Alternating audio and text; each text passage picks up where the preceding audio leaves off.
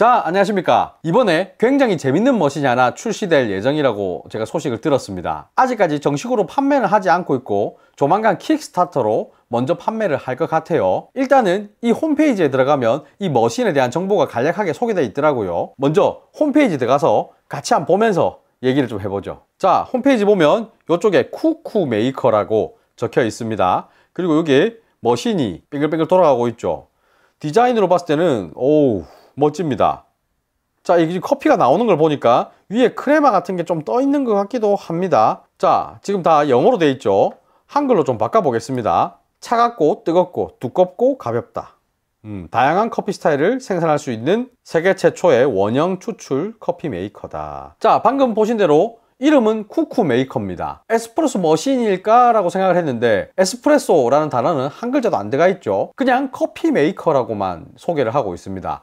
이걸로 봤을 때 얘는 에스프레소 머신은 아닌가 보다 이런 생각이 들어요. 근데 이름이 쿠쿠 메이커. 밥통 아니죠? 커피 메이커입니다. 밑에 내려가서 계속 한번 봐보죠.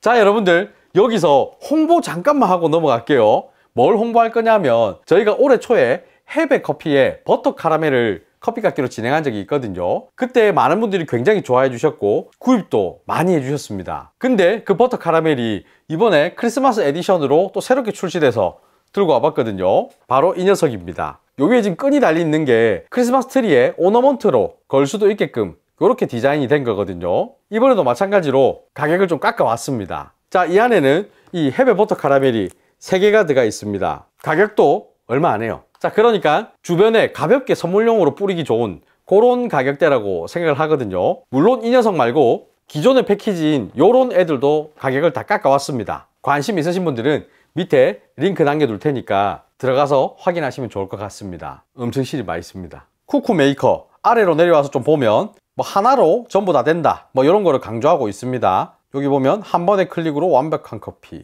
이 옆모습을 지금 딱 보면 이렇게 디귿자로 디자인이 돼 있죠. 디자인은 제법 괜찮아 보이긴 합니다. 제가 봤을 때는. 그리고 콜드브루 에스프레소라고 표현을 하고 있습니다. 이탈리아 스타일 에스프레소 아메리카노 콜드브루 스타일의 커피 이 모든 게 다 된다. 뭐 이렇게 홍보를 하고 있어요. 밑으로 좀 더 내려가 보면 지금 보면 발열 상태 조정 링이라고 되어 있는데 이게 지금 온도 조절인 것 같습니다. 그리고 물과 지상 입구라고 되어 있지만 여기가 물이랑 커피 가루가 투입되는 구멍 같아요. 근데 물도 일로 들어가고 커피 가루도 일로 들어간다는 게좀 어, 희한하네요. 요 밑에는 시간 조절 링 그리고 커피 종류를 선택할 수 있는 스위치도 있습니다. 요 밑에는 coffee outlet 아무래도 커피 추출구겠죠. 그리고 밑에는 여기 디스플레이도 있네요. 어플로 제어도 가능합니다. 자, 어플로 조절되는 거를 좀 자세히 보면 water input, 커피 가루는 얼마나 들어갔는가 압력, 그리고 온도, 시간. 자 밑으로 좀 내려가 보니까 아 이 머신의 정체가 드러나기 시작합니다.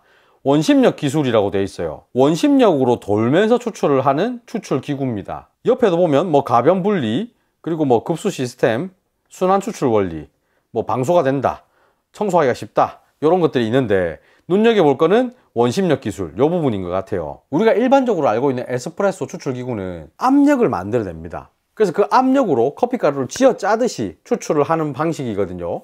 근데 얘 같은 경우는 원심력으로 돌려서 커피를 추출하는 거죠. 이게 한 3년 전쯤인가 제가 리뷰한 제품 중에 지프레소라는 제품이 있어요 이게 국내 회사에서 만든 걸로 제가 알고 있는데 얘 같은 경우 이렇게 원심력으로 추출을 하는 기구거든요. 제가 테스트를 해봤을 때 분쇄도를 어떻게 하느냐 그리고 원두 양과 물 투입량을 어떻게 하느냐에 따라서 조금씩 차이는 있지만 에스프레소 비슷한 농도까지도 뽑아낼 수 있었습니다. 근데 그 리뷰에서 제가 하고 있는 말은 에스프레소만큼은 아니다. 모카포트보다 조금 더 진한 것 같다. 뭐 이런 얘기를 하고 있거든요. 지금 이 쿠쿠 같은 경우에도 그 지프레소랑 좀 비슷한 느낌이려나? 이런 생각이 들기는 해요. 그리고 순환 추출 원리라고 되어 있는데 이 부분이 조금 의아합니다. 이 그림만으로 봤을 때는 물이 올라가서 돌면서 원두를 적셔가지고 추출합니다. 근데 그 적신 게 다시 물통으로 내려와요. 그래서 제가 지금 이해를 잘못하고 있는 건지는 모르겠지만 추출을 한번 거치고 난 커피가 다시 커피를 또 적시고 다시 커피를 또 적시고 이렇게 되는 건가? 그렇기 때문에 더 진해지는 건가? 뭐 이런 생각도 좀 듭니다. 아무튼 좀 더 밑으로 내려가서 다른 부분도 한번 살펴보도록 하죠. 자, 1번 독립적인 압력 통제. 일반 커피 머신과 이 쿠쿠의 차이점을 보여줍니다. 쿠쿠는 이렇게 원심력으로 돌아가면서 커피 추출한다. 자, 원심력은 반경과 회전 속도에서 결정된다. RPM이 올라가면 올라갈수록 추출 압력이 증가한다 라는 그래프를 보여주고 있습니다. 그리고 채널링에 대해서 얘기를 좀 하고 있는데 이 쿠쿠 같은 경우는 원심력으로 도니까 커피가 주변에 이렇게 쌓이죠. 그리고 가운데서 스프링쿨러로 이렇게 물을 고루 분사합니다. 그렇기 때문에 채널링의 위험이 별로 없다라는 걸 강조하고 있는 것 같아요. 원두의 분배 같은 경우에도 쿠쿠는 원심력에 의해 고르게 분배된다. 하지만 우리가 일반적으로 쓰는 포토필터는 이렇게 고르지 않게 분배가 될 수 있다.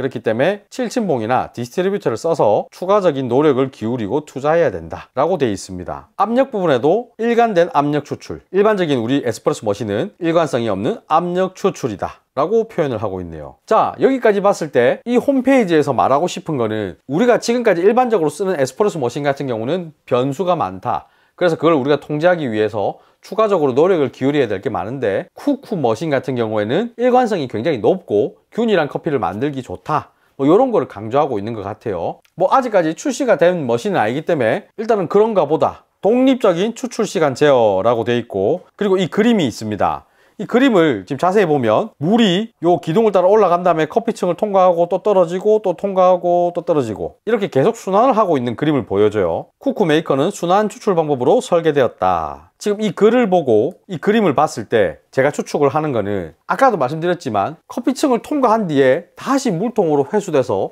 그걸로 또 뽑는 것 같아요. 그러니까 아까 머신에서 시간을 설정할 수 있었죠. 그 시간 동안 계속 돌면서 추출을 하는 것 같습니다 그러니까 시간을 길게 하면 길게 할수록 커피가 더 진해지는 개념인 거죠. 일반적으로 제가 생각했을 때는 뭐 40초로 설정을 해 놓으면 추출이 딱 시작되고 40초 동안 추출이 쭉 떨어질 거라고 생각했어요. 근데 얘는 제가 이해한 게 맞다면은 40초 동안 추출이 되면서 떨어지는 게 아니라 계속 안에서 돌고 있는 거죠. 그렇게 해서 마지막에 한 방에 쭉 뱉어낼 것 같습니다. 제가 이해한 게 맞다면요. 그러니까 농도를 굉장히 진하게 빼낼 수도 있겠죠. 이 부분이 좀 신기했습니다. 이전에 지프레소 같은 경우에는 위에서 물이 아래로 떨어집니다.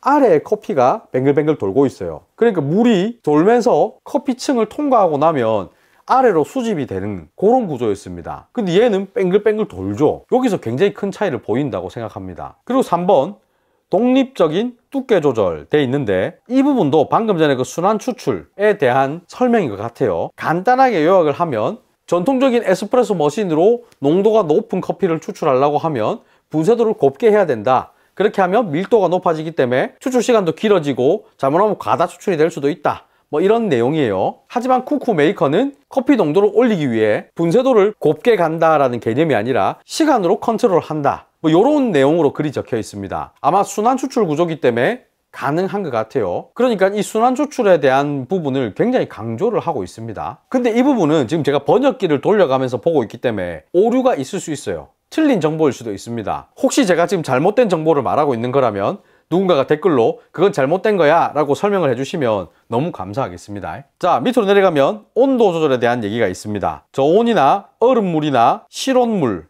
요걸로 추출이 가능하다. 그리고 물을 데워서도 사용할 수 있다. 자 이렇게 쿠쿠 메이커 한번 훑어봤는데요. 아직까지 출시된 제품이 아니니까 뭐 예상을 하기는 힘듭니다. 처음 이 홈페이지 들어와서 봤을 때는 그냥 원심력으로 뽑는 거구나. 지프레소 비슷하겠거니 이 생각을 했는데 보다 보니까 이 순환 추출이란 부분이 좀 궁금해지긴 했어요. 저 같은 경우는 쇼츠로도 예전에 영상을 만든 적이 있는데 에스프레소를 뽑은 다음에 그 에스프레소를 가지고 수동 커피 머신에 넣어서 또 에스프레소를 짠 적이 있거든요. 그랬을 때 농도가 확 진해지는 걸 느꼈습니다. 맛도 어마어마하게 세요. 약간 비슷한 느낌일 수도 있겠다 라는 생각이 들긴 하거든요. 그리고 일관성에 대해서 계속 강조를 하고 있는데 이 부분은 나와 봐야 알 것 같아요. 그리고 물과 커피가루 투입구가 지금 같죠? 이 부분도 들어가면서 뭔가 떡이 지거나 이런 게 있지 않을까 싶기도 하고 뭐 봐야 할 것 같습니다 이 부분은. 그리고 가격적인 부분. 아직까지 킥스타터에도 올라오지 않았기 때문에 가격이 없습니다. 근데 제 생각에는 지금 생김새를 딱 이래 보니까 안 싸 보입니다